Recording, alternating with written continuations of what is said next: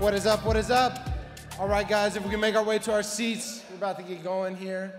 How's everybody doing today? So, not so good. How's everybody doing today? There we go, there we go, there we go. Um, guys, this weekend, once again, is going to be an incredible weekend. We're really looking forward to it. We're so glad y'all are here. Uh, on the count of three, just tell me who you're looking forward to seeing most this weekend. One, two, three.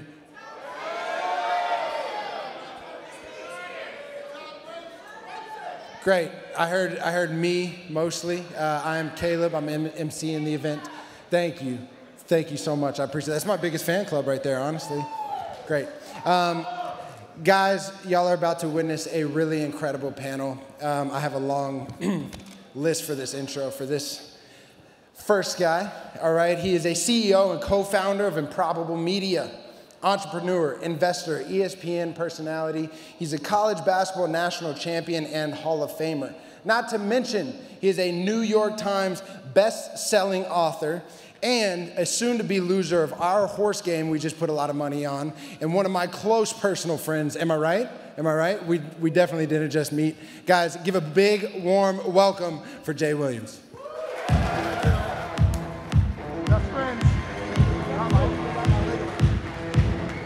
What's up, everybody? How's everybody doing today? That was not good. Let's be honest. Can we do it again? Can we do it again? Wait, wait, wait. You guys gotta learn how to take cues. How's everybody doing today? Okay. Today is a incredible opportunity. Obviously, welcome to Fanatics, the festival, everything that's occurring today. Have you guys been enjoying the moments thus far? I know it's a long weekend, but hopefully it's been kicked off the right way. Let me give you some intros because I'm really excited for this panel. And we're going to give you some intimate conversations. We're going to talk about culture. We're going to talk about sports. Obviously, we're going to talk about hoops. There's a lot of unique things that are going to come out of this conversation. And the first person I'm going to bring up here I don't even know how words can describe this man, but I'm just going to call him by his name and then we'll dig into it afterwards. Please give a round of applause for Dr. J.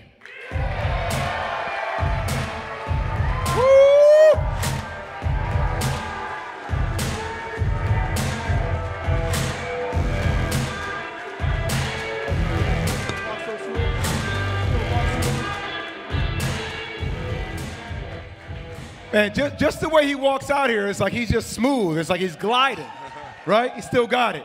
All right, next up, uh, I play basketball Duke. It's home. It's been a pleasure watching this young man continue to grow and extend his wings. He is a star in the NBA. I do think he has a legitimate chance to be the face of the NBA. I want you guys to give it up for Paolo Banchero.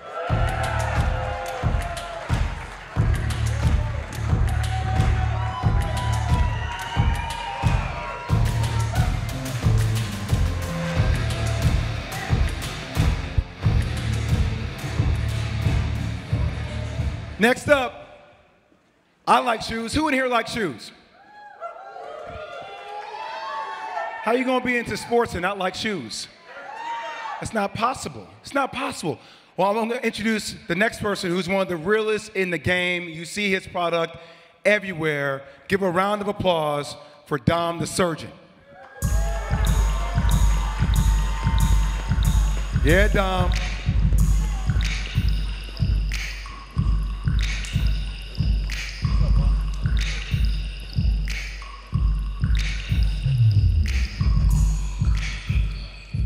All right, so I'm going to address the elephant in the room real quick.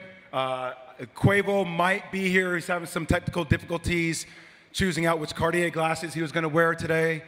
Um, seriously, he had some plane issues, so hopefully he'll show up.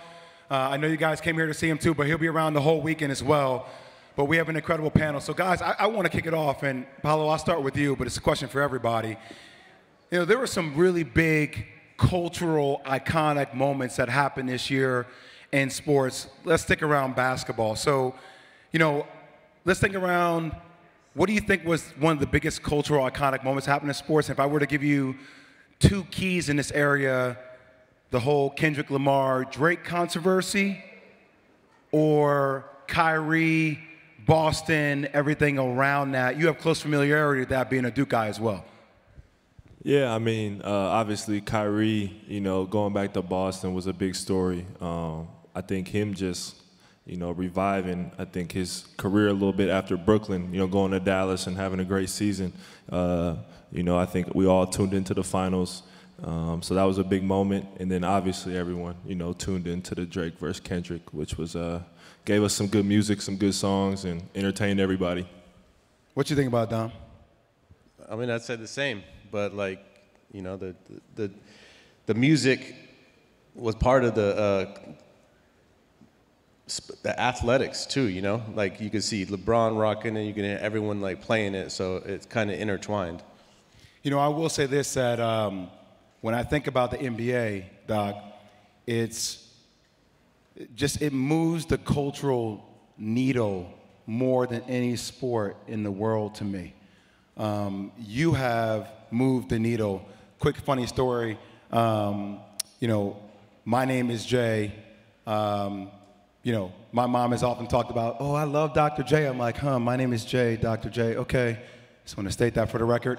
Um, it's awkward, but fine, we can lean into it. Um, you have been part of the league for so long and be one of those cultural moments. What moment stood out to you this year, considering your history within the game? Well, let me, yeah, let me, let me first say I never met your mom. yes, thank you. Thank you for clarifying that. I'm sure it would be a pleasure to meet your mom, but it never happened. Got it. We're there. Uh, I think the, there's a there's a number like 300 associated with a few contracts in the NBA. Mm. So from a cultural standpoint, that's probably the biggest thing that is the elephant in the room that you know other uh, decades and generations of, of the sport you know look at and we're like yeah you know i mean this is happening because of stuff that we did you know, and they're standing on our shoulders, and we want the guys who are being blessed like that to be representative in that way, and to and to know the history of the game and all the things that, you know, had to transition. I, I played, I played in the '70s, so you know, I mean, the country was at war as you know, uh, Hamas and Israel are at war right now, but we were entrenched in a in a war in Vietnam, and people who I went to high school with and I went to college with. Many of them signed up for the military. They went to Vietnam and they never came back.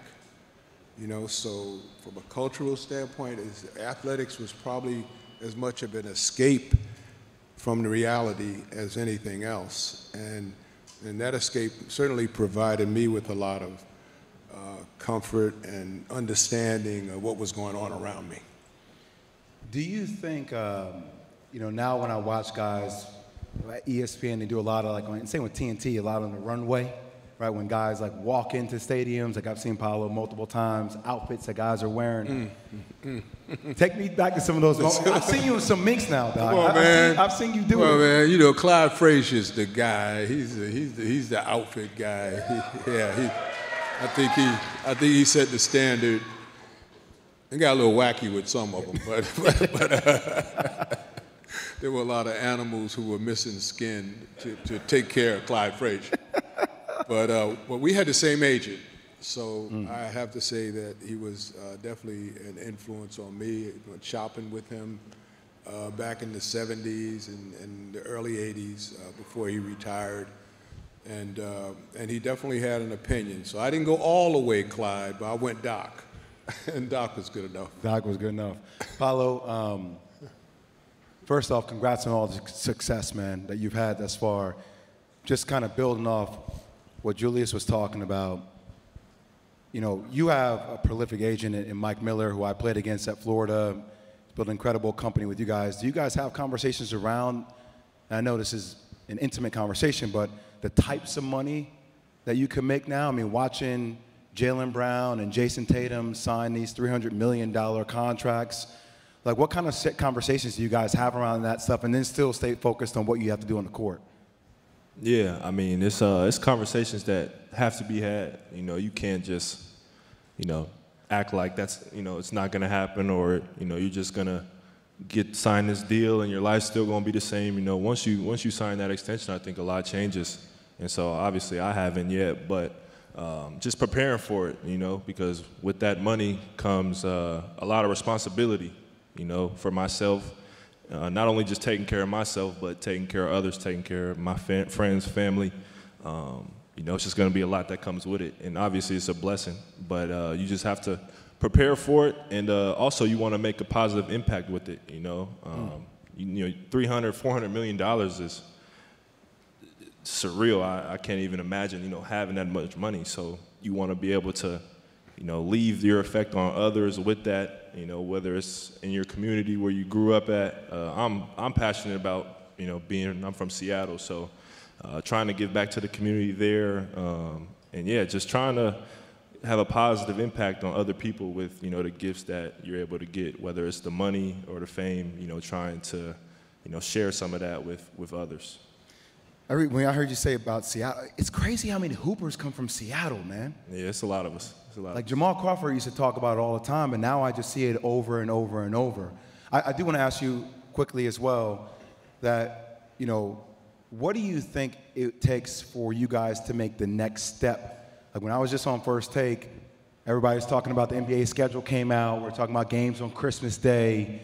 Uh, obviously, we know we're here in New York. You see a lot of New York Knicks jerseys. Yeah. You know, Nova, Nova Knicks, right? 76ers make moves. Paul George, they're back in it. Uh, Indiana, obviously, with Tyrese Halliburton and company, Giannis. Um, you know, you have all the, the top tier teams, Boston, obviously.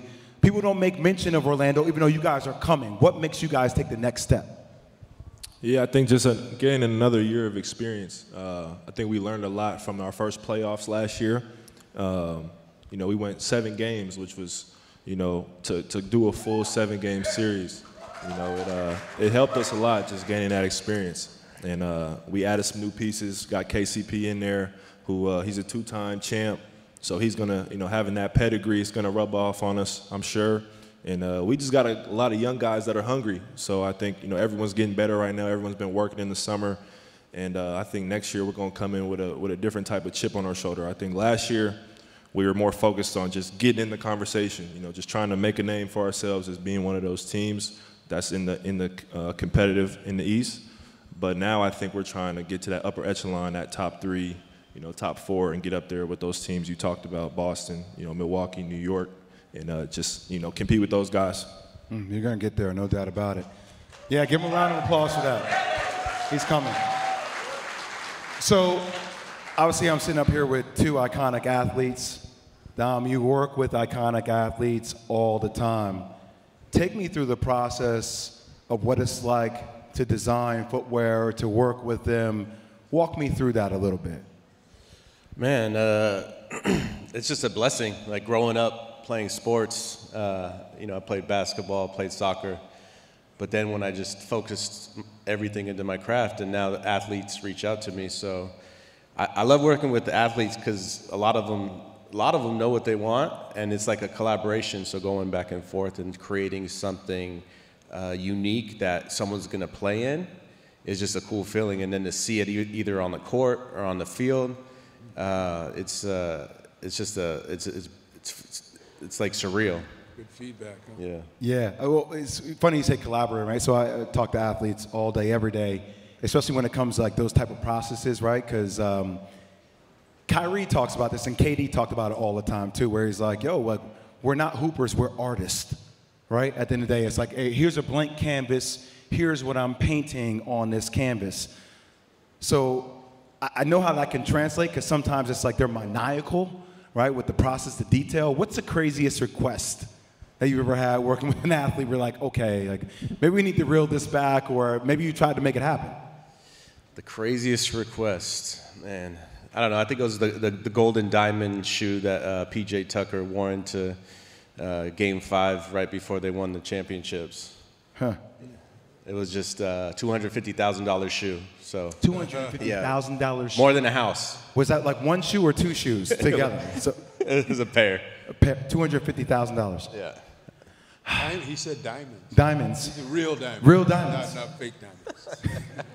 real diamonds. Real diamonds cost money. Yeah. So, Julius, do you think the league is kind of like missing something here? Obviously, I mean, back in the, you know, when I was playing, it was a lot of, um, you know, during the time of AI, hip hop was influencing the culture of basketball a lot.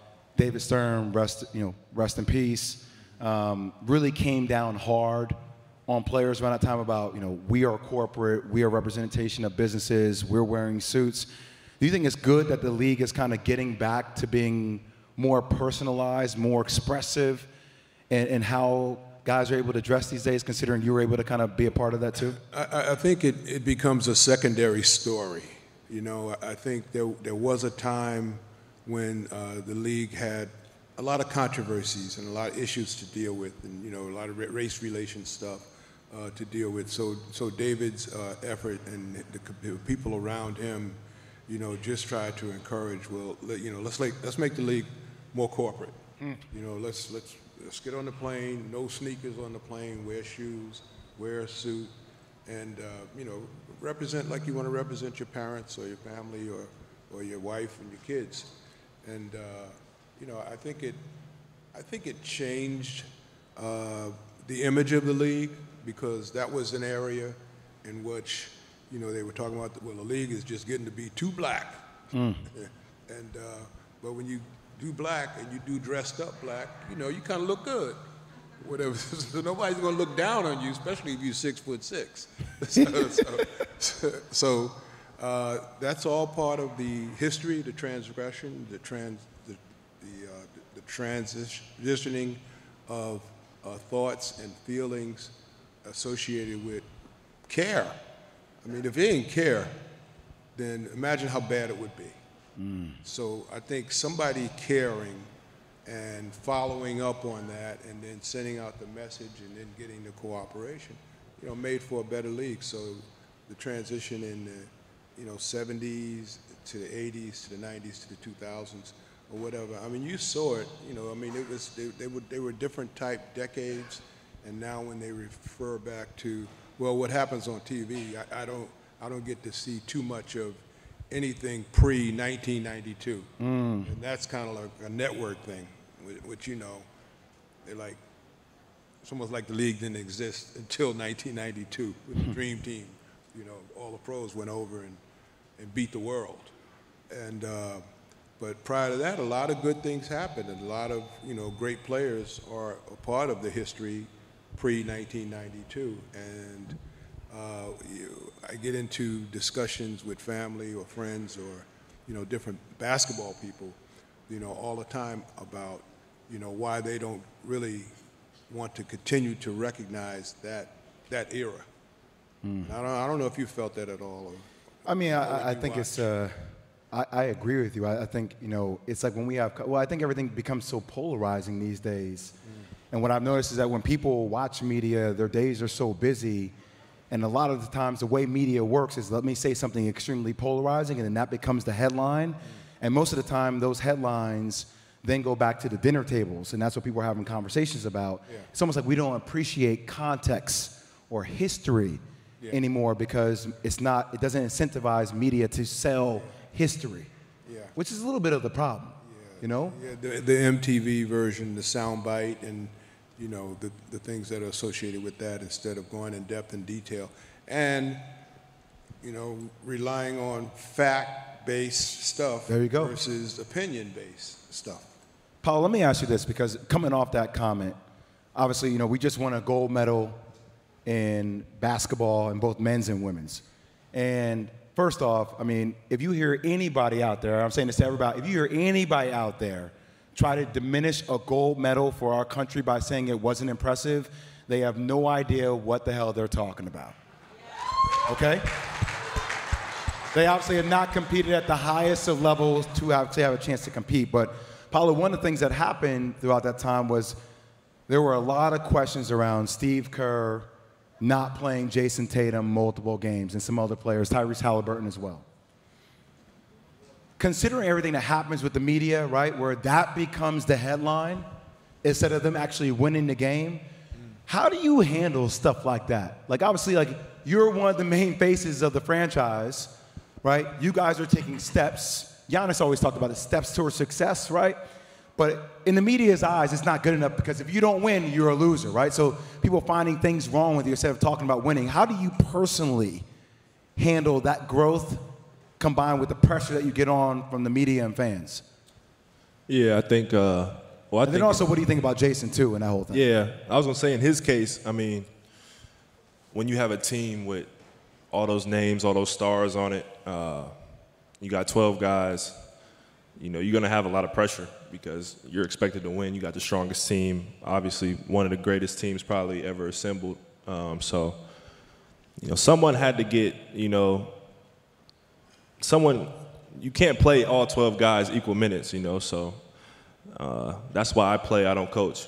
I Well, some know. guys, some guys play and coach these Yeah, days. yeah. So I don't know how you would figure that out. Obviously, Tatum got the short end of the stick. Uh, as a as a star player, um, it definitely probably is frustrating in some way. Obviously, he handled it uh, probably as good as you could, but I'm sure you know deep down you definitely have some emotions that you know you feel like you should have played, could have played. I mean, shoot, I was in the World Cup just last summer and we didn't even get a medal. Mm. So really, and, and as soon as we landed back in the states, you know they had just announced that you know all these guys were going to come back.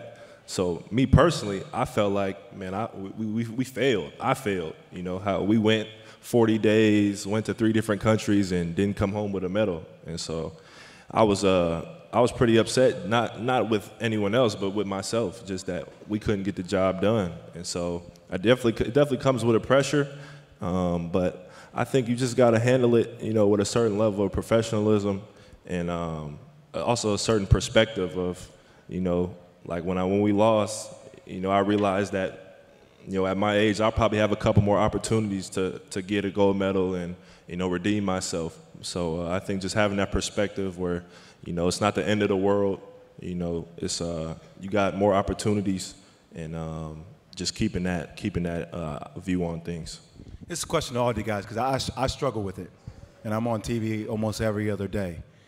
It's when there is this push perception of you on social media if somebody in a very high, visible, you know, seat says something about you, then like, you know, social media has changed. And Doc, I'm so curious how you guys would have handled that back then, or what advice maybe you have the people, or how you're dealing with it now. But it's like you have all these different narratives that are out there, and we're all human beings.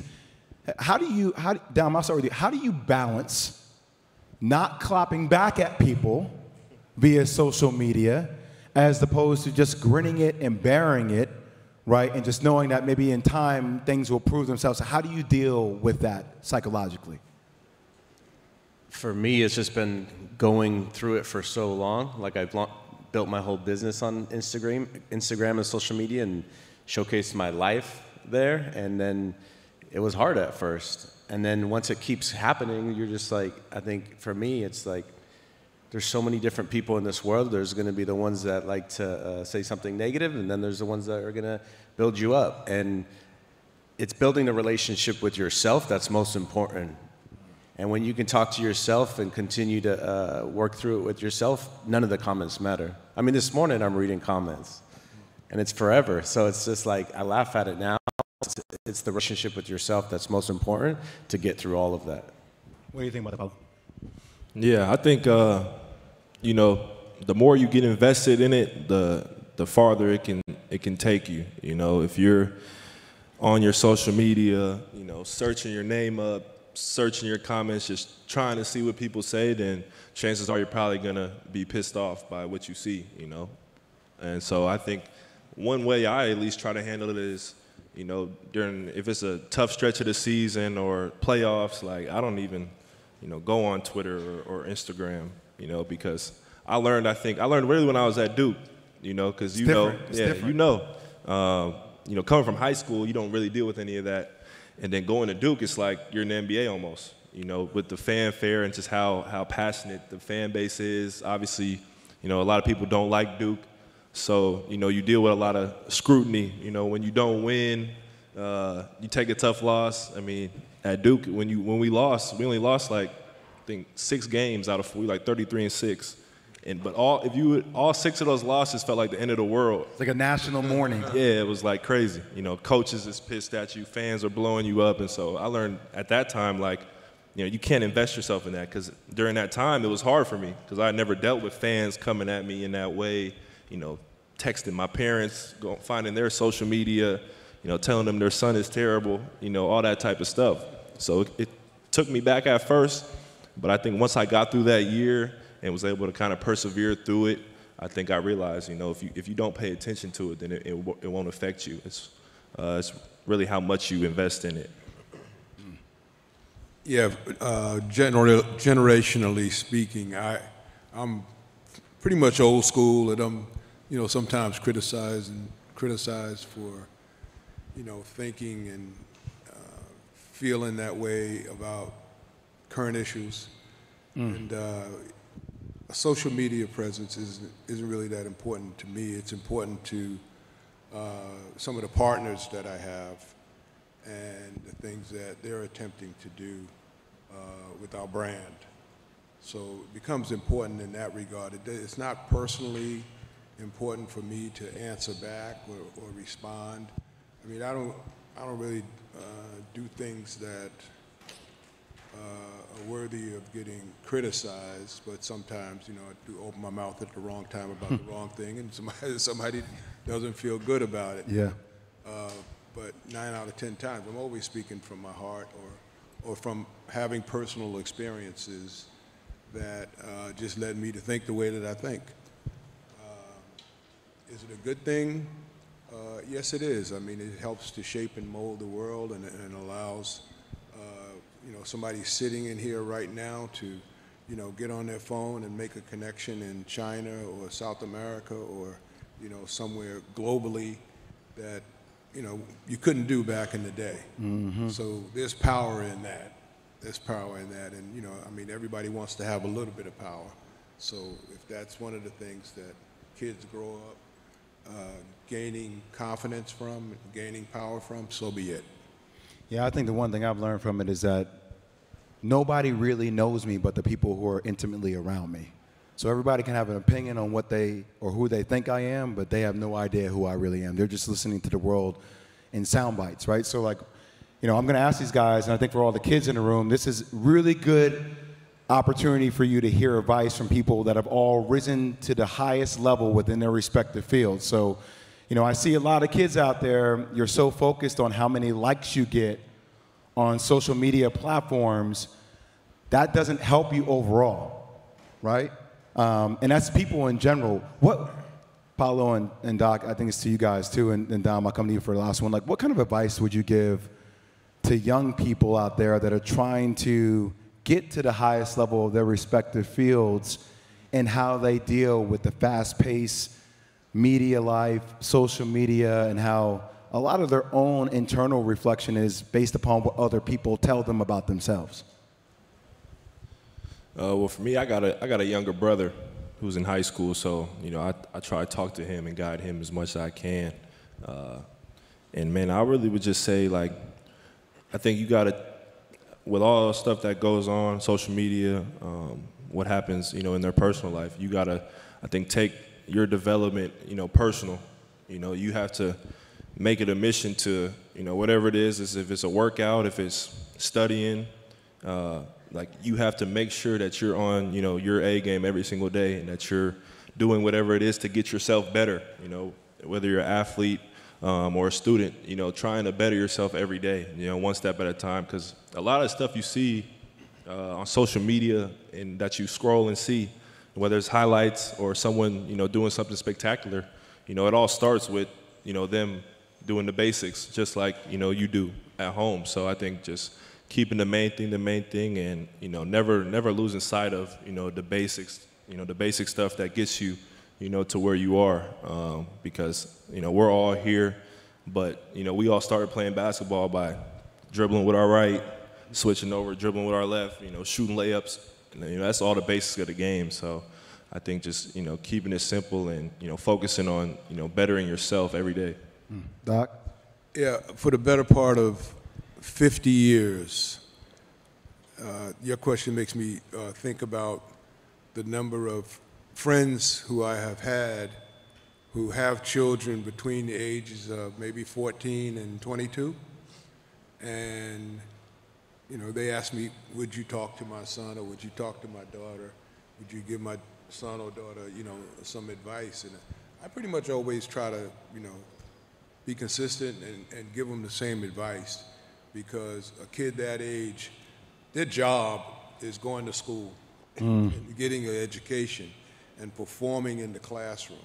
So if they play sports or they have extracurricular activities, whether it's music or library studying or whatever, then that's the extracurricular activity. But you're a student first, and I, think when you start thinking of a career path, the things and the contacts that you make while you're trying to be, as, as Paolo said, the best person that you could be, the best student that you can be, if you, if you go after that, you'll, you'll, and you succeed at that, then you'll succeed at other things that you target and you go after, hmm. which might be more closely associated with a specific career path. But, you know, deciding at ninth grade that you want to be a professional basketball player, that's stupidity to me. It's not, the pros pick you. You don't pick the pros. Hmm.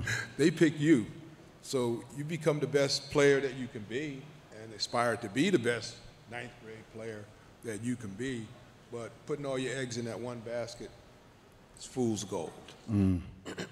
Dom, I know we only got about a minute left, but like you know, you're you sit at the intersection of sports and culture more than anybody on this panel. What do you see changing in the next five to ten years that you think is going to stand out, as a chance to be differentiated? Well, I'm going to go from 74 to 79. So I'm going to lose a lot of my audience. 'Cause just Your like audience just like Joe audience. Biden did. They were like, "Oh no, you, he's he's too old. He's forgetting stuff." Hey, bro, I forget stuff a lot. Let me tell you, it, it comes comes with the territory. so I think Paolo's gonna have to answer that question about the next five years because Yeah. you know, he's gonna be in the trenches, going at it. I'm gonna be out, God willing. You still I'm gonna be I'm gonna be. You I'm gonna still be gonna out and about. I'm, I'm still gonna continue to make my mark. I got you. But- Dom, go ahead. You can answer it real quick. but I- I think it's- as grandiose as his. Yeah. I, I, I just think that, you know, so, well, first off, the social media is a tool, right? So use the tool for what it is, for connection and getting, you know, if you're posting, like, what is it that you're posting for? To connect with family or to show your art or to show your skills. But, you know, use it as a tool. Don't let it use you. And, um, you know, the, the next five years, I think it's going to continue to have athletes, you know, be, you know, show themselves outside of just the, the, the sport, right? And it's continuing to do that, but which is tough. How do you be a pro athlete and, you know, show, and, yeah, and a role model, and you, you know, you're into fashion and you're into, you know, whatever it is, you want to build a brand. So, it's a lot, but I think there's going to be a lot more of that, right? Athletes showing their personality even more through uh, creating their own products and shoes, and, and you know, and just showing more about how they think. I have one last question for you, Paolo. Um, I want you to finish the statement for me because I think it says a lot about how you look at life. We are in five years from now. Paolo Banchero is what? Uh, NBA champ, Orlando. yes sir, NBA champ. Uh, hopefully an MVP, and uh, yeah, one of one of the faces of the league, one of the you know faces of, of, of basketball of the new new generation. I, I guess I'm part of the new generation. so yeah, I would say yeah, just all that. And he- he'll be wearing the $4 million shoes in the championship. Maybe so. well, I hope you guys have good, enjoyed the conversation. I want you guys to give a round of applause for Dr. J, Dom the surgeon, and Paolo Banchero. Thank you guys so much.